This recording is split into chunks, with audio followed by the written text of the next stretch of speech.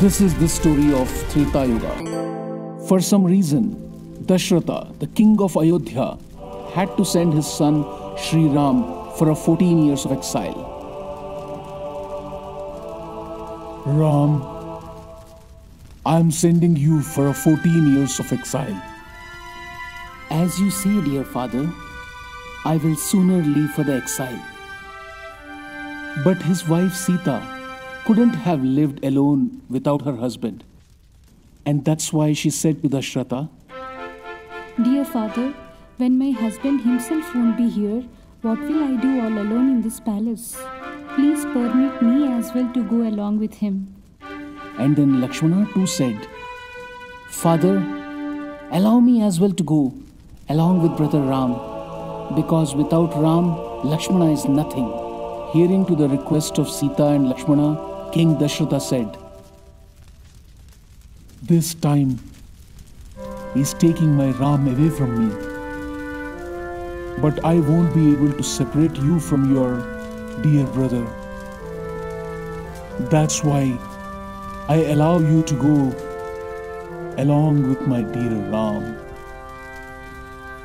After a few days, with King Dashratha's permission, Ram, Sita, Lakshman went to the forest for an exile. They three built a hut and started living there. Everything was going fine. But one day, a female demon by name Surpanakha was passing by the same forest. She saw Ram and Lakshman and started to think, These two men are really handsome. Looks like they are strong too. I shall surely marry one of them. With the same plan in mind, she converted herself into a beautiful lady. And then she went towards Ram and Lakshmana. First, she went to Ram and said, I am impressed with your handsome physique and I want to marry you. I am sorry, I am already married, and my dear wife is with me. You can take your marriage proposal to my brother Lakshmana, who is there. He is all alone in this forest. After hearing Ram's refusal, Surpanakha felt very bad. But then she saw Lakshmana and started to think. This gentleman has refused my proposal, but that's okay. His brother too looks exactly like him. I shall marry Lakshmana. Thinking so, she went to Lakshmana. Hey, good looking gentleman.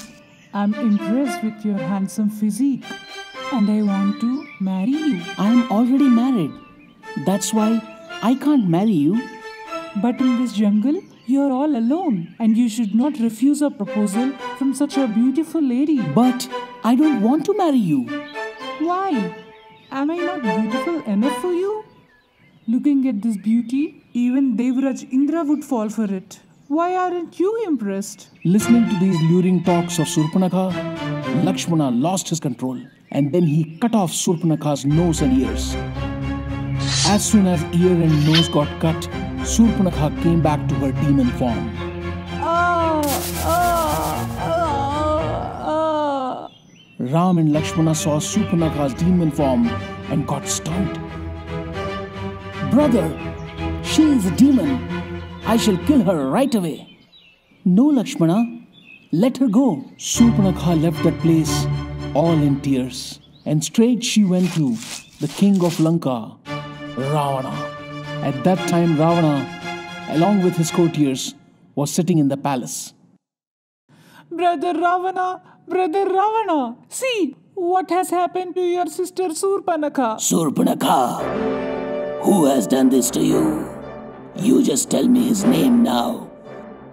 I shall kill him right away. Brother, in the forest there is Ram and Lakshman. One of them has cut my nose and ears. You stay here. I shall cut his head off and bring it to you. No, brother, they have insulted a woman. Even you have to take the revenge in the same way. What do you mean? What I mean is, along with those two brothers, there is a beautiful woman too. You go and kidnap Sita. Once Sita is kidnapped, Ram can be considered dead.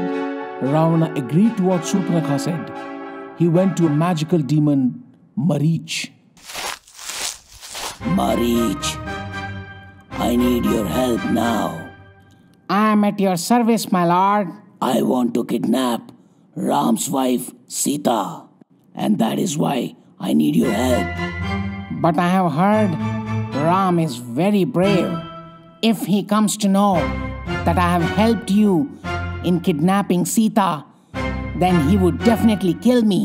And if you refuse to help me now, I shall kill you right here, right now.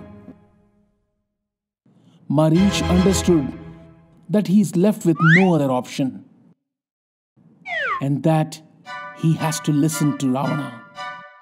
They both reach to the forest, and as per Ravana's plan, Marich transformed himself into a golden deer, and then he started roaming around Ram's hut. Very soon, Sita saw the golden deer. Dear, I need that golden deer. Sure, let me catch the deer for you right away. Saying so, Ram, along with the bow and arrows, started to walk towards the golden deer. He kept chasing the golden deer but couldn't catch it. Finally, Ram took the decision to kill the deer. He took the bow and arrow and aimed the arrow straight at the deer. The arrow hit the deer, and as soon as the arrow hit the deer, he transformed back into the demon form. He then started to scream in Ram's voice Sita! Lakshman!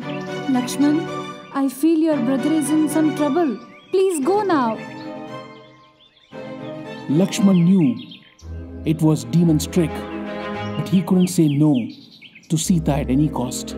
That's why he drew a Lakshman Rekha outside the hut using one of his arrows and said to Sita, Whatever be the case, please never step out of this Lakshman Rekha. And then he started walking towards the direction of the voice. As soon as Lakshman was gone, Ravana came over there and then disguised himself into a holy man.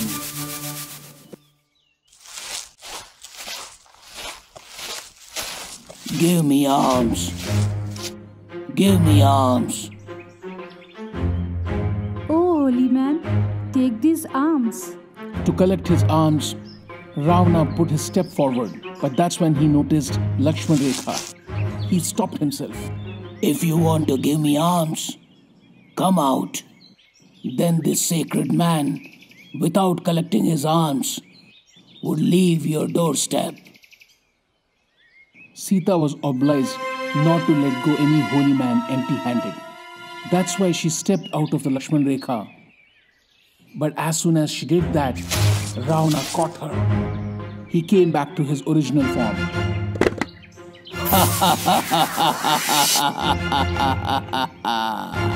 I am no sacred man.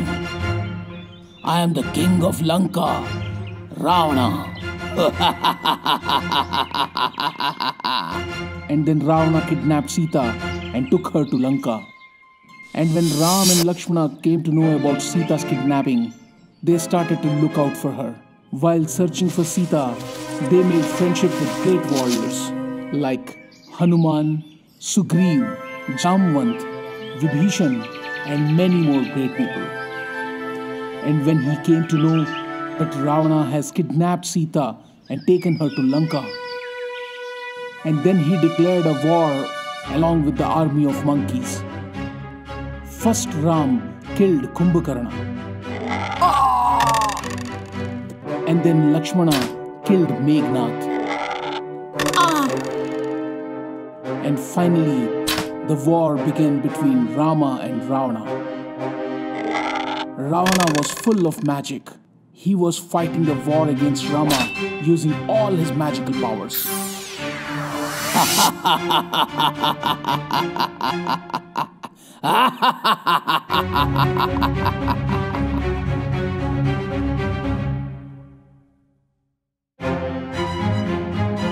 Rama's arrows were causing no harm to the Ravana.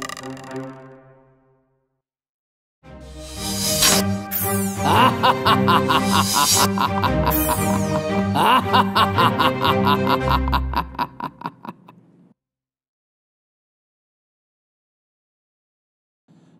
tried cutting Ravana's head off his body.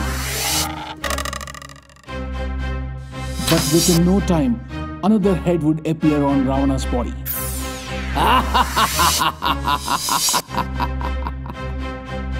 How do we kill Ravana? That's when Vibhishan came there. And then he said to Rama, Lord, hit at Ravana's navel. That's how Ravana can be killed. Rama understood everything. He immediately loaded the bow with an arrow and shot the arrow towards Ravana. The arrow hit Ravana's navel and then he fell down towards the ground.